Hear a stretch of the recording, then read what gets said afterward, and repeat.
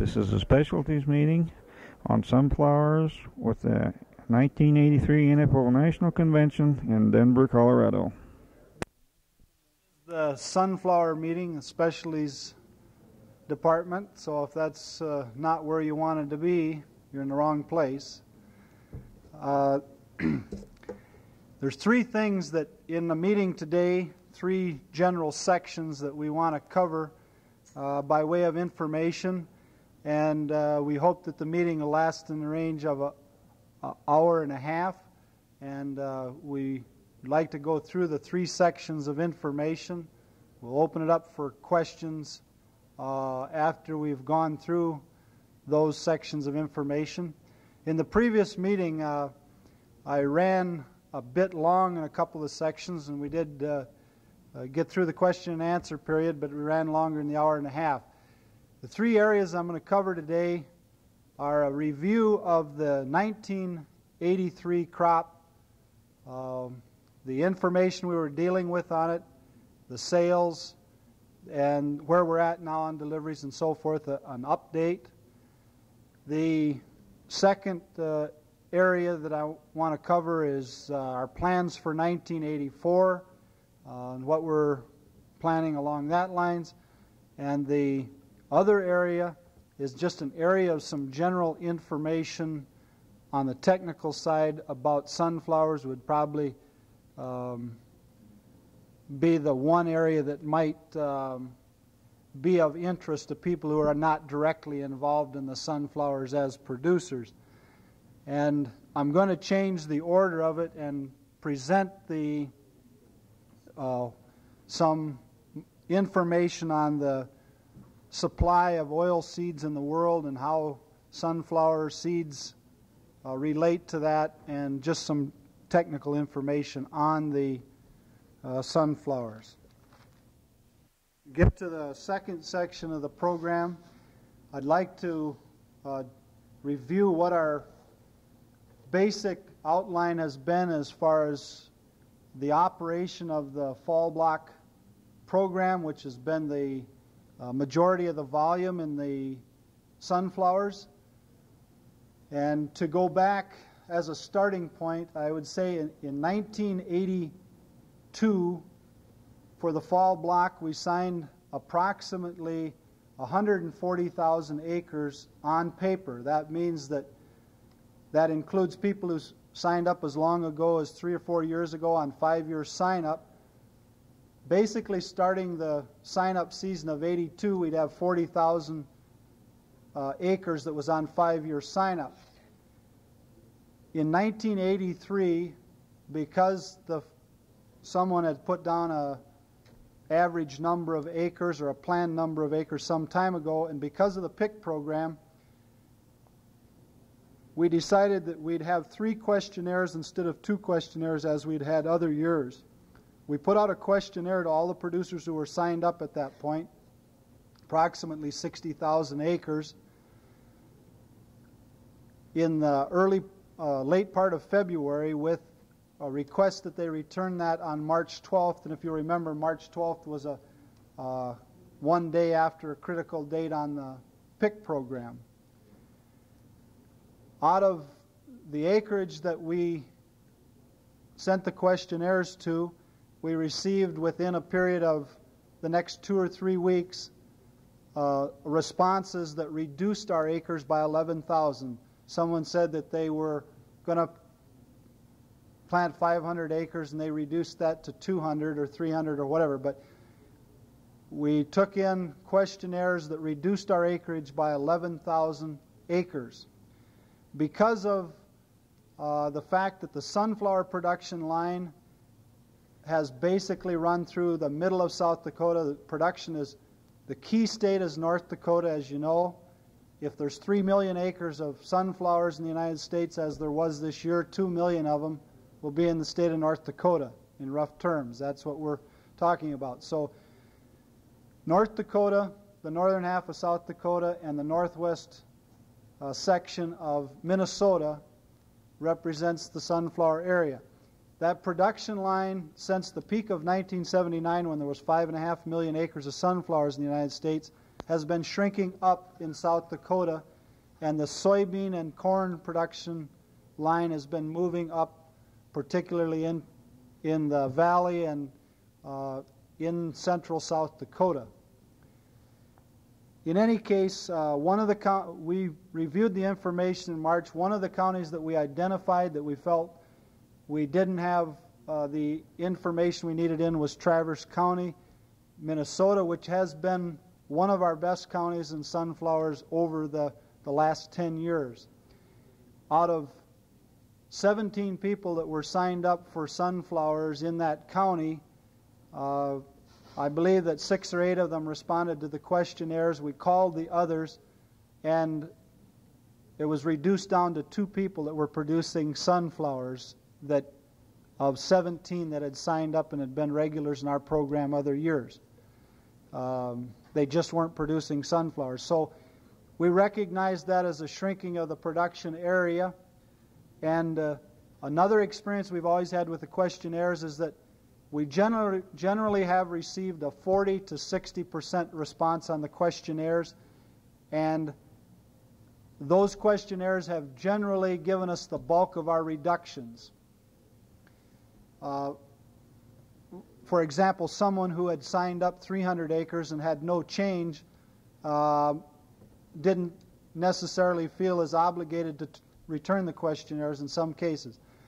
In any case, uh, in the month of uh, June, we sent out the questionnaire as we do in the other years, time so that once planting is completed, we can get an adjustment of those acres and recognize that.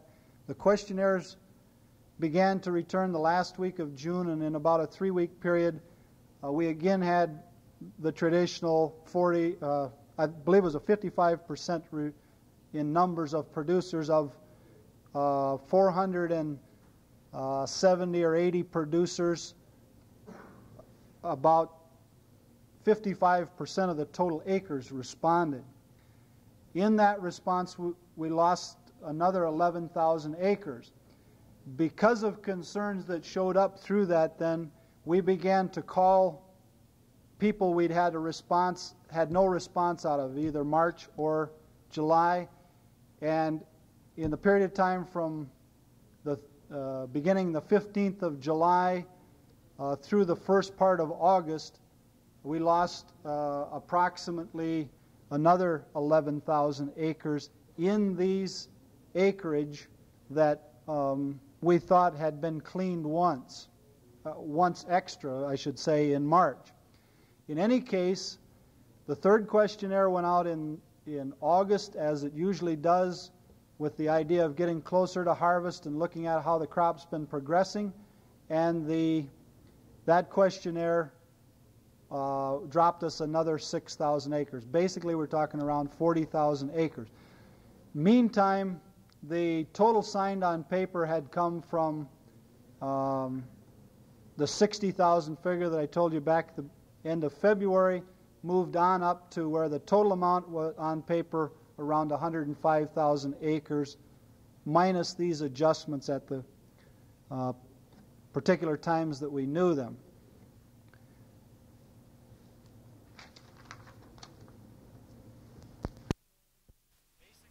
Price had maintained a $10 level the first few months of the year, $10 at Duluth. The, it moved into a $10.40 level uh, in May, June, July, that time frame. And uh, the, for the first time in July, we began, began to see some increase in that price. And we did sell into that increase. Most of the country had sufficient moisture, and the prices reflect that. You see, would begin to see some response in the end of July, but any substantial rain uh, through the soybeans could have topped that price off at that time. We sold at the same time our acres uh, were contracting, and more importantly, at the time we put out the notice, we were expecting that what we had sold was 80%. It's apparent now that uh, because of the uh, production conditions, uh, for example, people in Divide County uh, getting very low yields. People up in like Marshall County, Minnesota, getting low yields uh, because of too much moisture, and Divide County too little.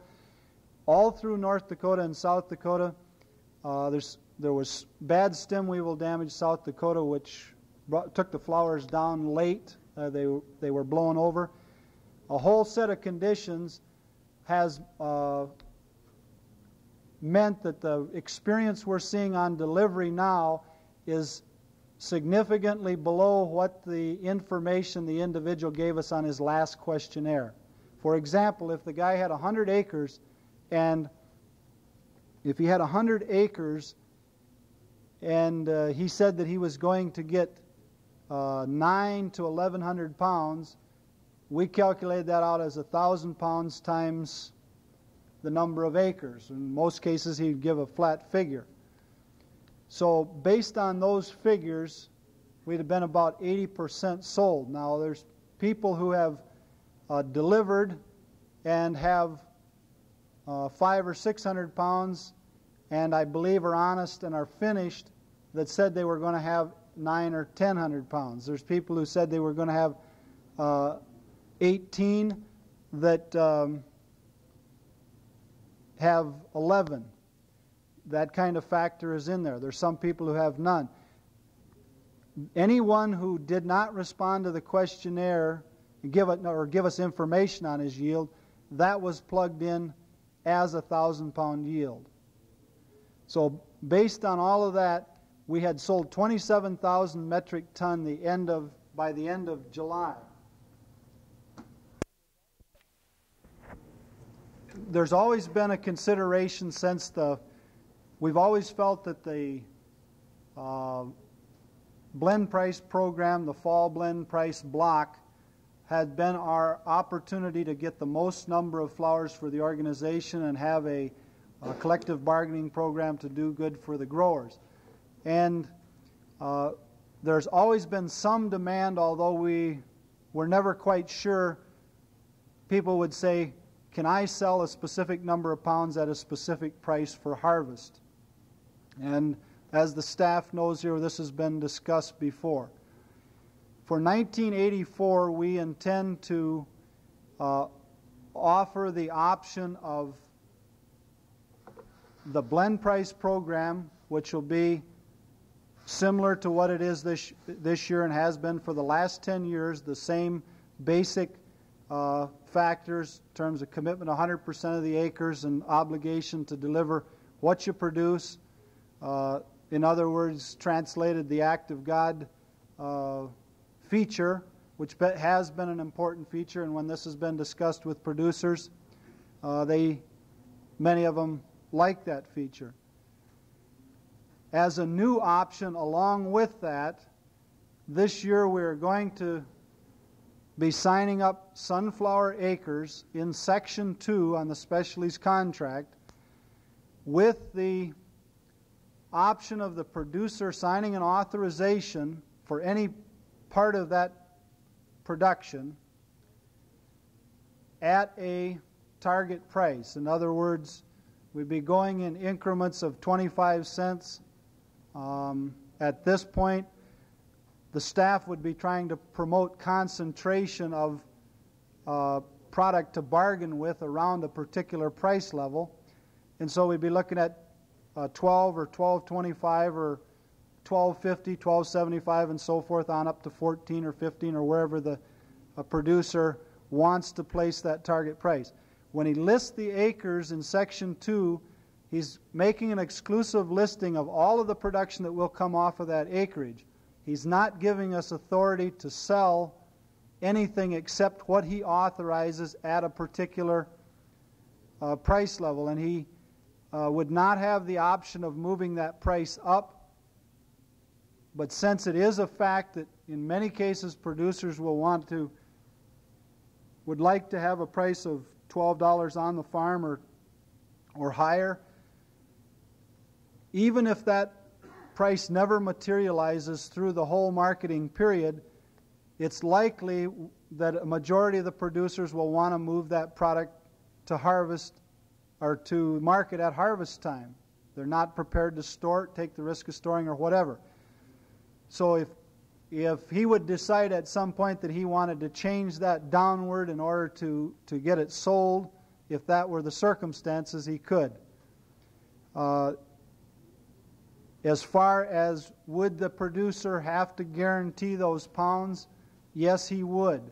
The, uh, he would have to determine against his total acreage how many pounds per hundredweight he was willing to go up to at any point in the year. If a producer would list 200 acres and say that he wanted to sell 400 pounds per acre at uh, $13 delivered Duluth in the form of an authorization, we would um, we will be interested in uh, getting as many acres as possible that are concentrated in a range that we could go to a buyer and say, now, um, individually, this fellow has only authorized us, uh, we wouldn't be saying this individually, but in fact, here's what would be happening. Individually, he's only authorizing us to sell 100,000 pounds uh, that he's going to guarantee. In other words, he would, he would decide what that level is. But we would be in a position with those acres in Section 2 to, uh, based on that man's target price, have a good indication that if we had 50,000 acres in that position, that if we could negotiate with a buyer that he would uh, provide the act of God, in other words, rather than NFO uh, being responsible for the act of God, if we could gain that from the buyer based on some volume in that position, we would attempt to negotiate the act of God, and if we could gain that, we would, we would be willing to transfer it back to those producers who wanted to go with 100% of their crop at that target price.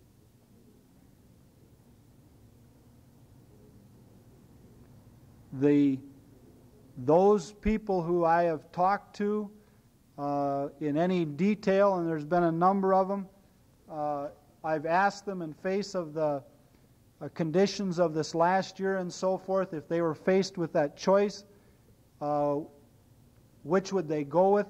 and surprisingly, quite a number of them would say, based on the overall experience of the last five or ten years, it's likely that they would still go in the blend price block. We feel that there are a number of people who like the blend price block, uh, but we feel that our expansion has been stagnated. Not only we've been the last four, three or four years, we've been getting about the same percentage of the sunflowers but the acres have decreased from 150,000, uh, or excuse me, from 5.5 million down to um, down to 3 million. Now, the biggest volume year that we ever had delivered at harvest time was 83,000 metric ton in the year 19, uh, the 79 crop, which was the largest national crop. So we are not looking to uh, do away with the fall blend price block that has uh, served a good purpose. We're, we can not throw it out the window based on uh, a disappointment of one year. It's important to remember that after the sunflower seeds were planted this year, many producers who are not in the NFO program sold their sunflowers at the same or lower prices than what uh, we're talking about in this blend price pool. I would believe the majority of the sunflowers, particularly because of the uh, constricted yield, the majority of the sunflowers being delivered were under some form of a contract, and and not a very large percentage of them uh, after that price balloon because of the uh, continued dry conditions in the sunflower or in the soybean area a significant crippling point for us in this program was that we had the cushion in terms of, of uh, acres. Those uh, were found not to be good solid acres in spite of a number of questionnaires. And at the same time, uh, we have people delivering five and six hundred pounds from places like uh, wet areas in Marshall, Minnesota, lots of areas in Divide County, for example, in uh, North Dakota, all through the area uh, from Ransom County and Stutsman County in South in North Dakota on down into South Dakota. A lot of stem weevil, and uh, much of that blown over. Some, one of the producers even, at least one, even raking some of them up and and uh, harvesting them. Still not coming near the acres. Now I know uh, that there is some um, cheating in the program. We've always seen that if the price is in the right relationship, we do more poorly in relationship to the national average than we do if it's favorable. But I believe that uh, the majority of the producers are delivering what they have gotten, and the yields just aren't there. We took legal action against three producers in Ottertail County who have threatened to default. We got a temporary restraining order against them. Their attorney notified us after about 15 days that they uh, did intend to deliver. And uh, so we feel that we have um, done some good there in terms of getting some of the flowers in. Another thing that we found is that we suspect there were some people that reduced their acres to zero who actually had some. So what we did was we sent letters to all the ASCS offices with a list of not only those who still said they had acres, but those who had zeroed out on us. And out of that, we found about 12 people that had told us they had zero that had some acres. Uh, at, then, as we approached those people, we found that they were either confectionery flowers or that they were planted for seed or some factor like that. And so that the, the person had zeroed out on us on the basis of a commercial production of oil flowers. Uh, we, Bob Lewis and I did contact one individual who had 148 acres, and I believe that he's delivered probably three loads now who had zeroed out on. So what we've been doing is working at every angle to uh, uh, preserve the production that belongs in that block for the uh, to reduce any uh, liability of the National Farmers Organization and to stay in a clean position for those producers who've done what they're supposed to. Um, I'd like to, uh, at this point, open the meeting up to any questions that you have on what I've said so far. Um, there's tremendous corporate cannibalism going on throughout the United States.